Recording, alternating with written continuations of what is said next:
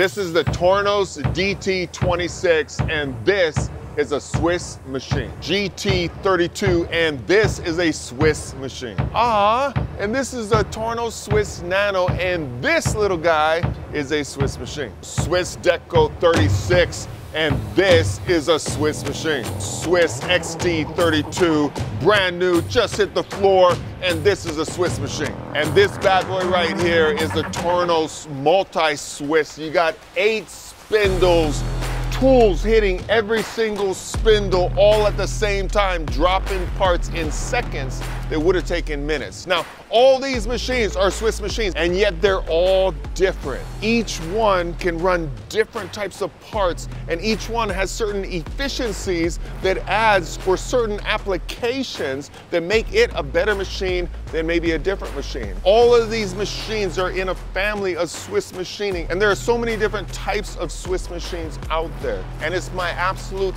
honor and privilege to announce the Titans of CNC Swiss Machining Academy. I am so excited about this academy. No matter who you are, no matter what level you are at in the game, you'll be able to get valuable information. Knowledge is power, and this is the resource. Whether you want to learn about macros, learn how to set tools, learn about a specific control and how to actually navigate that control. What's a guide bushing? There will be a series on collets and guide bushings and explaining all of it. All the information is right here. When you look at a specific machine like the DT26, we're gonna teach you how to turn it on. We're gonna teach you how to navigate the controls. We're gonna teach you how to set it up, how to install collets and guide bushings and material and tools, how to set those tools. And we're gonna show you how to program parts on these machines.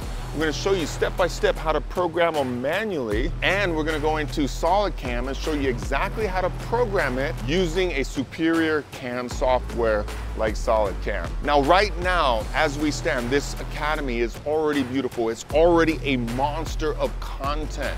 But in the weeks, months, and years to come, we're gonna keep adding to it. We're gonna keep rising on those levels. We're gonna teach all machines, all processes, all different types of parts. So keep coming back because there will always be something new for you. Now, before I go, I just wanna say a special thank you.